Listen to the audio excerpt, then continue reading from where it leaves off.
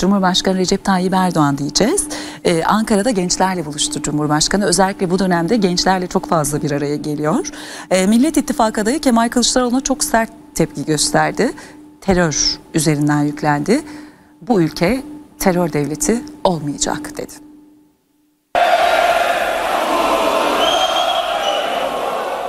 Bay Bay Kemal. Orta. Bunlar ne sözü veriyor? Selo'ya Diyarbakır'da benim Kürt kardeşlerimi sokağa dökerek öldüren, öldürten Selo'ya cezaevinden çıkma sözü veriyor.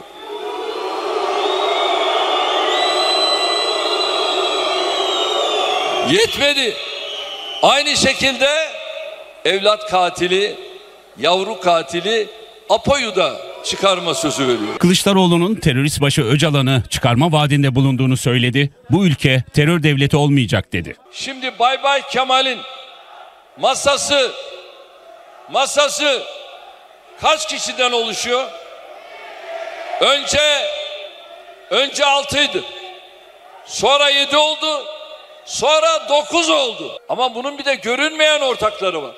Bu ortaklar ne yazık ki Kandil'in parlamentodaki uzantılarından da oluşuyor. Bu ülke bir terör devleti değildir. Olmayacaktır. Bu ülke bu hainlere bırakılamaz. Cumhurbaşkanı Recep Tayyip Erdoğan Ankara Ato Kongresyum'da Gençlik için Hemen Şimdi programına katıldı. Millet İttifakı Cumhurbaşkanı adayı ve CHP Genel Başkanı Kemal Kılıçdaroğlu'nun otomobil üretiyoruz dediler, nerede dediği sözleri anımsattı. Kılıçdaroğlu'nu Gemli'ye davet etti. Bay Bay Kemal ne dedi? Fabrikası nerede dedi? Yorulur musun ya? Çık bir Gemli'ye gel, fabrikasını gör. Ne dedi? Bunu nereye nasıl satacaksınız? Şimdiden ciddi manada siparişler başladı. Siparişleri yetiştirmekte artık fabrika zorlanıyor. Erdoğan'ın gündeminde ev sahibi olmak isteyenler de vardı. İlk evim, ilk arsam kampanyası ve dönüşüm projeleriyle gençlerin hayallerine kavuşturulacağını söyledi. Geçtiğimiz 21 yılda ülkemizde 10,5 milyon yeni konut inşa edilmesini sağlayarak vatandaşlarımızı güvenli, modern, yüksek standartlı yuvalara kavuştur. Ev sahibi olmak isteyen gençlerimizi bu hayallerine kavuşturacak olan yine biziz. İlk arsam kampanyalarıyla bedelinin yarısını karşıladığımız kentsel dönüşüm projeleriyle ülkemizde kendi evine sahip olma hayaline kavuşmamış kimseyi bırakmayacak. Türkiye'nin ekonomisinin eleştirilmesine tepkiliydi Erdoğan. Türkiye'nin dünyada 11. sıraya yükseldiğini duyurdu. Satın alma paritesine göre dünyada Türkiye 11. sıraya yükseldi. Ekonomimizi rayından çıkartamayacaksınız.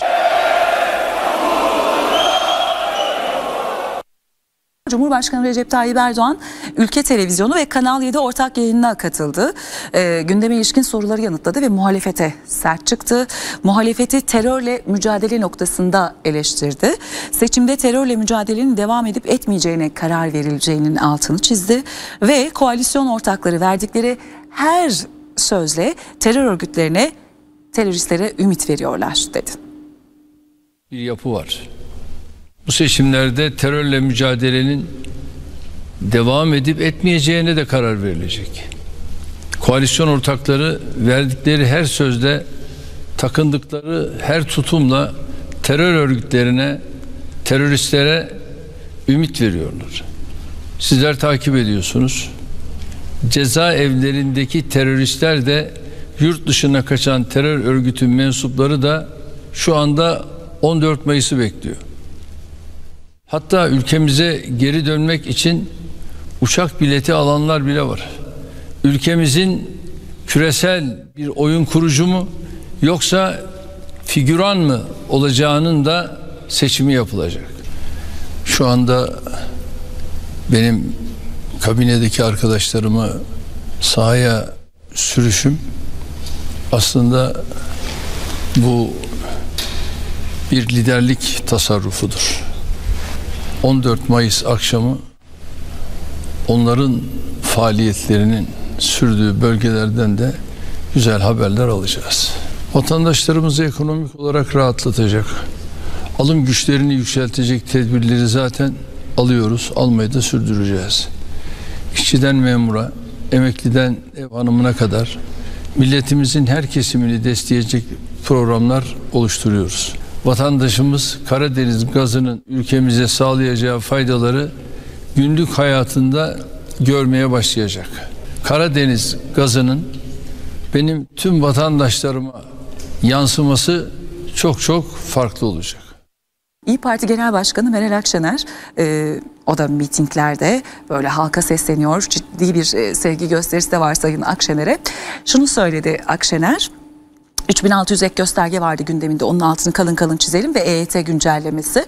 Onun dışında da e, bir oy Meral'e bir oy Kemal'e vurgusunu yeniden yaptı. Allah var ben başbakan olmayı çok istiyorum oylarınız da olacak dedi. Başbakan Meral diye bağırıyorsunuz. Ben de başbakan olmayı Allah var çok istiyorum. Ama bedavadan olmaz, bedavadan olmaz. Oylarınızla olur. İyi Parti birinci parti yaparsanız olur. Herhangi bir şahısla veya grupla ya da gruplarla pazarlık, puzarlık ederek yapabilecek bir tip değilim. Beni tanıyorsunuz. Bu sözlerle seçmene hitap etti, destek istedi. Olsun, yolumuz açık olsun. İyi Parti Genel Başkanı Meral Akşener Balıkesir'deydi. Burada vatandaşlara seslendi, Millet İttifakı'na oy istedi. Başbakan olmak istediğini ifade etti. Yani bir oyunuz, bir oyunuz Kemal'e, bir oyunuz da Meral'e. Yani, yani, yani Meral derken neyi kastettim? Ben herhangi bir şey aday değilim biliyorsunuz. İyi Parti'ye bir oyunuz. Bir oyunuz Millet İttifakı'nın Cumhurbaşkanı adayı olan Sayın Kılıçdaroğlu'na gideceksiniz. Ona mührü çat diye evet diye basacaksınız. Akşener seçim vaatlerini de sıraladı. Tarımı kalkındırmak öncelikli hedeflerimiz arasında dedi. Verilecek destekleri açıkladı. Çobanın, çobanın Bağkur ya da SSK primini biz ödeyeceğiz devlet olarak. Bu arada 3600 zaten büyük bir haksızlık oldu. Onları düzelteceğiz. 3600'ü sizden öğrenip ben söyledim günlerce defalarca her biri söz söyledi ama seçime gidince gitti. EYT'de yapılan haksızlıkları düzelteceğiz. Akşener seçimi kazandıkları takdirde köy okullarının yeniden açılacağını da söyledi. Köy okullarını açacağız. Köy okullarını açtığımız andan itibaren taşımalı eğitim bitecek. Öğretmen gidecek, veteriner gidecek, ziraat mühendisi gidecek o köye. Genç çocuklarımız tarım yapmak istiyorsa eğer 5 yıl boyunca tarım yapmak için evlenip gittiler. Köyde yaşamaya karar verdiler. Bu gençlerin SSK ya da Bağkur primlerini 5 yıl boyunca devlet olarak biz ödeyeceğiz.